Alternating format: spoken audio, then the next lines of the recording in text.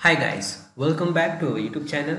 So in this tutorial, we're gonna learn how can we know the size of the picture that we have inserted in Microsoft Word. So for that we have this picture in this article. We have this article on health niche and this is the picture that we have. So to know the height and width, actually to know the size of the picture, what you have to do is you just have to select the picture and then click on this format which is a picture tool and at the last you can see the size. So the height is 4.87 inches and the width is 6.5 inches. Similarly you can have this box by just double tapping on this picture.